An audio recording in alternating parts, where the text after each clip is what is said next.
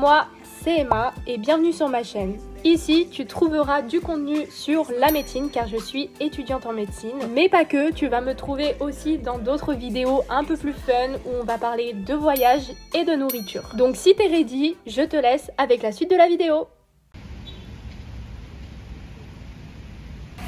Bon, bienvenue dans cette vidéo. Je vous prends un peu plus tard parce que il pleuvait et que je ne pouvais pas sortir mon téléphone. Mais franchement, c'est la galère. Je suis trempée. Je me suis fait littéralement éclabousser par une voiture. Vous savez, comme dans les films où la voiture passe et il y a toute l'eau qui se jette sur les piétons. Bah, C'était exactement ça. Euh, franchement, euh, je commence pas très bien la journée parce que j'ai 4000 galères.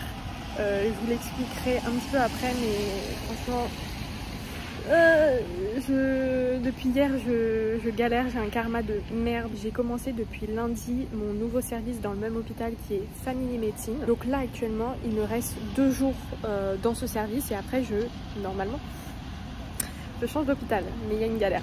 Mais je vous expliquerai. En gros, Family Médecine, c'est un peu de la médecine polyvalente. Enfin, c'est une hospitalisée, des personnes qui sont hospitalisées, mais pour différentes causes. En fait, je n'aurai pas de spécialité euh, à dire, pareil qu'en France. Ça ressemble un peu à de la médecine interne, parce qu'il y a un peu de tout, sauf qu'il n'y a pas tout ce qui est maladie auto-immune. C'est plus des trucs basiques, genre infectieux, cardio, euh, pneumo, enfin voilà, des trucs euh, assez basiques. Je vous avoue que le service ne me plaît pas de fou. Je fais beaucoup de réécriture de notes et pas vraiment de la médecine. Enfin, j'apprends moins, je fais beaucoup de réécriture de notes. Enfin bref, je vous expliquerai un petit peu en détail, mais en attendant, je commence à 8h30. Par contre, ce qui est cool, c'est que je finis assez tôt. Donc, euh, on va y aller.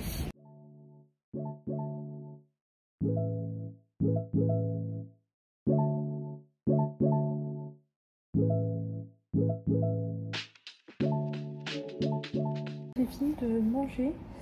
Euh, J'attends que mon médecin finisse aussi de manger, mais il n'a toujours pas, enfin, a toujours pas fini, donc je l'attends. En attendant, ce matin, j'ai eu euh, quatre patients à voir. Donc j'ai eu un patient qui avait une exacerbation d'asthme que je suis déjà depuis le début de la semaine. Donc ça va, c'est facile parce que je le connais et que là c'est juste voir comment il va, son amélioration ou son aggravation. J'ai eu un autre patient qui, pareil, je le suis depuis le début de la semaine. C'est pour un saignement au niveau euh, de l'abdomen, enfin au niveau rectal plutôt. En fait, c'est un diverticule qui a saigné, saigné, saigné. Ça a créé un, carrément un choc hémorragique. Donc euh, pareil, mais il va bien. Mon troisième patient, c'était un nouveau, enfin c'était une nouvelle patiente et c'était pour une douleur de hanche, mais un peu compliqué parce que la patiente est démente. Donc j'ai pas eu trop de réponses, je pouvais pas trop la mobiliser. J'ai dû appeler justement la résidence pour savoir son état cognitif de base parce que bah faut toujours comparer si elle est dans son état actuel, donc ça nous rassure ou pas du tout. Et là, on doit chercher des causes d'infection, de, choses comme ça. Dernier patient, c'était un patient qui avait présenté des symptômes de sevrage pour de l'alcool. Il avait présenté une crise tonico-clonique, mais en, réalité, après, il allait bien. Ça faisait deux jours que je le suivais. Et euh, en fait, il a dû partir puisque bah voilà, il avait plus rien à faire en fait à l'hôpital. On avait déjà tout soigné c'était juste un suivi extérieur. Donc voilà. Euh, là cet après-midi, je sais pas trop ce que je vais faire. Euh, je pense que je vais présenter mes patients à mon médecin et puis on verra si elle me donne un nouveau patient ou d'autres choses à faire. Je viens de revenir de mon stage. Enfin, ça fait déjà une heure à peu près. Euh, ça s'est super bien passé. Euh, je vous ai pas trop expliqué qu'est-ce que je faisais en family médecine. Mais en gros, euh, ce qui se passe, c'est une hospitalisation et donc je vais avoir des patients attitrés. Là, actuellement, j'en ai souvent 4. Et donc, mon but, c'est vraiment de les voir chaque matin, de faire un petit examen clinique si je les connais déjà, ou de faire tout l'examen clinique et l'histoire de la maladie si bah, c'est un nouveau patient. Et donc, tous les jours, je vais un petit peu le revoir. Voilà, c'était juste pour faire euh, quelques petits détails. Et donc là, j'ai fini à 16h. C'est d'ailleurs le premier jour où je finis aussi tard. Normalement, je pars à 14h20, 14h30, 14h40. Mais là, j'ai fini plus tard et c'est toujours quand on veut finir tôt qu'on finit toujours tard. Ce qui s'est passé, c'est qu'en gros, euh, demain, donc vendredi, c'est mon dernier jour en famille médecine. Et après, je change d'hôpital. Je vais dans un autre hôpital à Ottawa. Et par contre, je reste toujours en family médecine. Mais c'est un autre hôpital, donc ça va être un peu différent. Et ce qu'il faut en fait, c'est que à chaque hôpital, enfin les deux hôpitaux que j'ai fait, fallait faire des formations. Sauf qu'en fait, pour le deuxième hôpital, j'ai jamais reçu de mail parce qu'on l'avait mal écrit. Donc en fait, depuis avril, il m'envoie des mails pour faire les formations, pour remplir mon dossier, pour tout faire. Sauf qu'en fait, j'en ai aucune idée puisque je ne reçois rien. Et c'est vraiment, genre hier, j'ai envoyé un message pour demander bah, mes horaires et euh, pour demander aussi si je devais faire des trucs. J'ai eu le malheur de... Enfin, en vrai, j'ai eu le... C'était quand même... Euh, j'ai eu un bon karma parce que heureusement que j'ai demandé, sinon ça aurait été dead. Mais on me dit, bah oui, il faut faire des formations, il faut remplir vos trucs. Euh, mais vous avez, vous avez jusqu'à aujourd'hui 16h. Enfin, hier du coup, jeudi 16h. Comment ça? J'étais paniquée parce qu'en fait, on m'a dit, bah si tu fais pas ces formations, tu ne peux pas faire le stage. Donc moi, hier soir, enfin hier soir à 16h, en fait, ils ont fini leur travail à 15h30, donc personne, mais personne ne me répondait, et je n'avais ni mon identifiant, ni mon mot de passe, donc je pouvais même pas accéder aux formations que je devais faire. Donc je me suis dit, enfin moi je suis en stage toute la journée demain, donc euh, bah, ça va être impossible pour moi de euh, le faire jusqu'à 16h. Donc bref, ce matin ça s'est tout goupillé, genre ils ont admis qu'ils avaient mal écrit mon adresse mail, et que du coup bah j'avais jusqu'à dimanche pour faire toutes les formations donc je suis en train de les faire il y a vraiment 10 formations 10 formations euh, il m'en manque je crois 4 Oh, ça va vite là. Mais c'est assez long, donc ça fait une heure que j'y suis. J'en avais déjà complété en stage vite fait quand j'avais eu le temps. Euh, franchement, c'est relou, mais je suis un peu obligée, donc euh, je le fais. Mais c'était ça la galère, et franchement, ça m'a grave stressée parce que bah Enfin, si, si je pouvais pas faire mon stage, mon stage n'était pas valide. Et si un stage n'est pas valide dans l'année, on redouble. Voilà.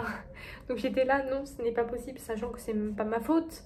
Bah, c'est juste ils ont mal écrit mon, mail. Donc euh, voilà. Donc là, je ne profite pas de la ville, mais bon, sans regret parce qu'il fait vraiment moche fini ces formations. Je veux vraiment les finir aujourd'hui, même si j'ai jusqu'à dimanche, je m'en fiche, je vais les finir maintenant. Parce que si j'ai un problème, au moins je peux les contacter demain, parce que sinon le week-end ils sont out. Et puis après, je serai débarrassée de ce stress, parce que j'avoue, ça m'a mis un petit stress. On est vendredi, il fait beaucoup plus beau déjà. Normalement, il est censé faire soleil.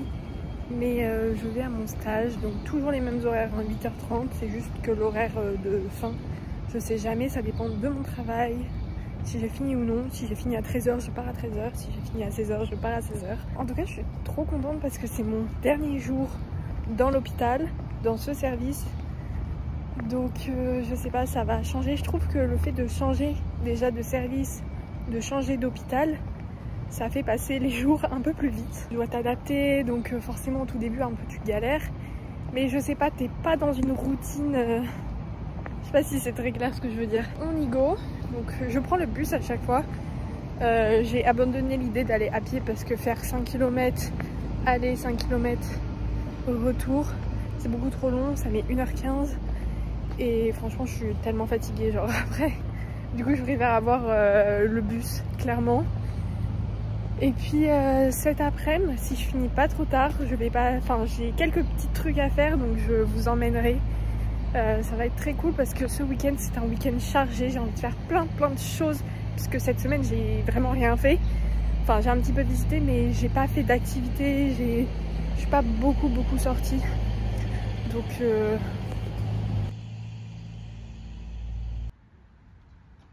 Je viens actuellement de terminer mon stage, il est 15h45 donc ça va, j'ai pas fini hyper tôt mais j'ai pas fini tard trop mignon. Euh, mon médecin référent du coup que j'ai eu, euh, enfin ma enfin j'arrive jamais à dire ma, mon, docteur mais en féminin bref, euh, que j'ai eu pendant toute la semaine m'a offert un cadeau, je m'y attendais tellement pas.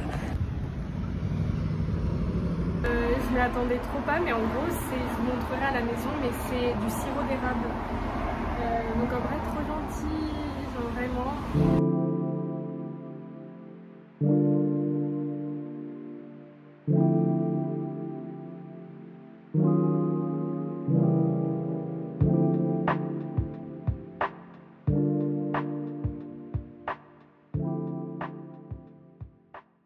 Bon, du coup, je suis rentrée euh, dans ma résidence. En vrai, il est déjà 18h11.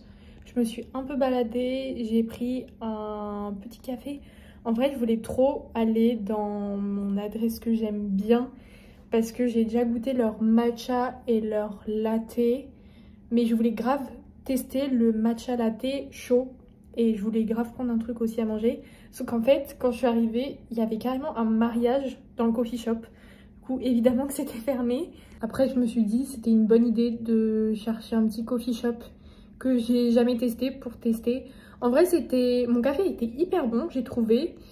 Euh, le cake ça allait mais c'était pas mon best préféré mais j'aime bien vraiment voir un peu près tous les coffee shops j'ai tellement d'adresses à tester c'est ouf je sais même pas si je vais pouvoir les tester toutes pendant mon séjour mais bon voilà et ce qui est bien c'est que sur le retour j'ai appelé pour réserver demain à 14h je vais faire en vrai je, suis grave contente parce que c'est grave quelque chose que je voulais faire sur Paris. Ce que je sais pas, j'ai jamais, je l'ai jamais fait au final. Mais je vais aller dans un cours de poterie. Je suis trop contente. En gros, le, pour ceux qui ne connaissent pas, les cours de poterie, en tout cas là où je vais, c'est un peu comme ce que je voulais faire dans Paris. C'est en mode, tu viens, tu choisis en fait ton modèle, si tu veux prendre, je sais pas, une cuillère, une assiette, un mug, etc. Le prix change en fonction de ce que tu prends. Évidemment, si tu prends un gros truc, ça va être plus cher. Si tu prends un petit truc, ça va être moins cher. Bon, bref. Et en fait, le but, c'est que ton mug ou ce que tu as pris est totalement vierge. Et c'est à toi de faire tes propres dessins, à toi de peindre, de, voilà, de, de, créer tout simplement ton, ton œuvre. Et après, pendant 7 à 10 jours, ils vont le cuire. Et après, tu le remportes chez toi. Et je voulais trop faire ça. Et je trouve que c'est grave une bonne idée. Dans le sens où Là, tu vois, j'ai essayé de, chercher des mugs, des trucs et tout du Canada. Sauf que c'est vraiment très cheap. Euh, enfin, ils sont pas beaux, tu vois. Tu vas faire ton, ton propre œuvre. Et euh, du coup, j'essaye vraiment de trouver des inspi euh, sur Pinterest. Je vous mets d'ailleurs mes inspi ici. Au final, je sais pas ce que je vais faire demain parce que ça va aussi dépendre du modèle. J'hésite entre un mug, une cuillère ou une assiette. Je sais pas encore. J'ai un petit peu visité la, la ville. Mais en vrai, je suis un peu claquée, j'avoue. Je pense que je vais tout simplement me doucher, un petit peu ranger le bazar. Euh, et euh, comme ça, au moins, je vais me lever tôt demain. Parce qu'il y a des choses à faire. Trop bien. Mais en tout cas, pour finir sur euh, bah, cette vidéo et sur cette semaine, parce que bah, je, vais, je vais vous faire carrément le bilan de ma semaine en family médecine. Du lundi au vendredi, j'étais en family médecine. En vrai, j'ai aimé mon stage parce que mon médecin était adorable j'avais quand même une autonomie, j'avais des patients attitrés que j'allais moi-même voir seule, que je faisais mes mots seule, que je revoyais avec le médecin. J'étais pas du tout observatrice, j'avais vraiment un rôle et j'avais vraiment, enfin je servais quand même à quelque chose.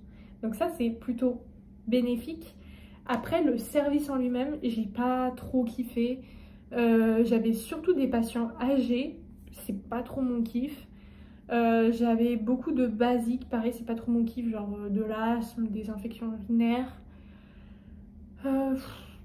Bon, c'est pas, c'est pas ce qui me hype le plus. C'est pas le stage que j'ai le plus kiffé, surtout que il y avait enfin, il y avait aucun geste, j'ai vu vraiment aucun geste. Bah en fait, pendant toute ma semaine, c'était surtout des réécritures de notes, comme je vous l'ai dit. C'était mettre, refaire les notes, machin, et Pareil, ça, ça m'intéresse pas beaucoup. Je, en fait, je, devais plus réécrire des notes que comprendre en quelque sorte. Euh, j'avais du mal à comprendre en même temps et en plus les notes, il y a tellement d'abréviations en anglais. Genre vraiment, j'avais mes notes que je devais réécrire et à côté j'avais Google Trad pour juste mettre les traductions des médicales des, des abréviations parce qu'il y en avait de partout. Du coup, ça rend un peu plus le travail difficile. Après, je, je le savais, hein, je suis dans un stage avec une langue différente. Évidemment que ça va être beaucoup plus dur. Mais j'étais quand même dans un hôpital francophone et on parlait énormément. Genre, je pense que 70% de mon... Non, même 90% de mon temps avec les patients, euh, c'était en anglais. Euh, après, avec le médecin, c'était toujours en français. Et les notes, bah, les notes étaient en anglaise. Moi, je pouvais écrire mes notes en française, en français, en français, mais il y avait des notes où je devais écrire en anglais. Donc en vrai, je trouve c'est bien dans un sens parce que certes, j'ai pas appris beaucoup en termes de médecine, en termes médical, mais le but aussi de faire un stage à l'étranger, c'était bah, de m'améliorer mon anglais. Et je pense que je m'améliore parce que tu vois, aujourd'hui, j'ai dû appeler la famille d'un patient et il parlait pas français. Donc, fallait que j'explique tous les trucs, euh, l'infection urinaire, machin, bidule, en anglais aux familles. Euh, donc en vrai c'était un challenge parce que franchement j'y suis allée euh, comme ça, enfin je me suis pas écrit en me disant faut que je dise ça, c'est tel mot, du coup les mots ils avaient du mal un petit peu à arriver mais je pense que ça va mieux et je pense que ça va être encore plus impressionnant on va dire euh, dans l'hôpital la semaine prochaine parce que c'est que en anglais donc je pense que tout le monde parle en anglais et je pense que même les médecins parlent en anglais, ça ça va être chaud par contre. Point positif, Point négatif, après je, franchement je suis contente d'avoir fait ce service. J'avoue que pour les deux semaines qui suivent, je vais être aussi en family médecine. J'aurais aimé être dans un autre service, j'avoue. Mais euh, comme c'est un plus grand hôpital et comme il y a du coup beaucoup plus de spécialités dans ma spécialité family médecine, c'est-à-dire qu'il y a des médecins par exemple spécialisés en cardiologie dans la famille médecine, en ORL dans la famille médecine, Peut-être que ça va être un peu plus euh, spécialisé, je vais pouvoir un petit peu... Je sais pas, on verra. De toute façon, je vous vloguerai tout ça. J'espère que cette vidéo vous aura plu. Euh, n'hésitez pas à me dire vos retours, vraiment je lis tout et je suis trop contente de quand vous m'écrivez des, commentaires ou que vous likez mes vidéos, ça, me donne clairement envie de, continuer. Et puis on se retrouve pour une prochaine vidéo sur ma chaîne le dimanche à 16h comme d'habitude. Bye.